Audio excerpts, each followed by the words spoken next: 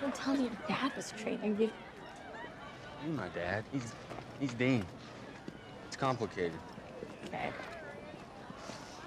Hey, thank you for coming all the way out. of course. I, I gotta say, you're pretty good. It was more than I was expecting. Yeah, you and me both. If I was ever gonna ride on the back of one of those things, I think it's safe to say I'd want you driving it. So you want to go for a ride? No, I said it, don't get too cocky. Now you know I can dance. You can't get enough of me, huh?